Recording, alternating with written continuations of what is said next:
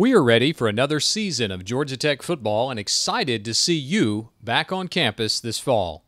Here are a few tips and reminders to make game days safe and convenient for you. Tailgating is a great Georgia Tech game day tradition, and we encourage you to be safe and responsible. Please follow tailgating guidelines and be respectful of fellow fans around you. Recycling and trash bins are set up throughout campus, so please clean up your areas properly.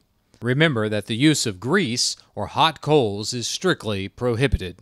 You can find all of the details at ramblinwreck.com slash gameday. As you enter Bobby Dodd Stadium, please make sure you're familiar with the items that are allowed and prohibited. All bags are searched upon entry.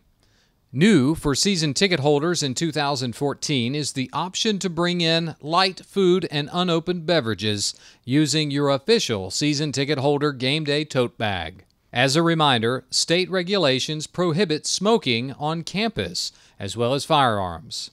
We appreciate your cooperation and remember to check out ramblinwreck.com slash game day for complete information.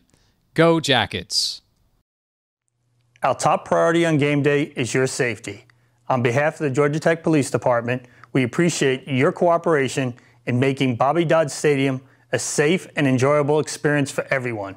Go Jackets!